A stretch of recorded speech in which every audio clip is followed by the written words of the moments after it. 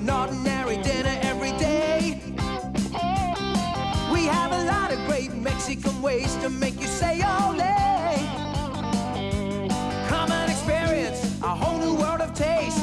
Old El Paso makes a spicy appetizing ginger paste. Try some real exciting biting with Old El Paso tonight. The best place for exciting taste is Old El Paso.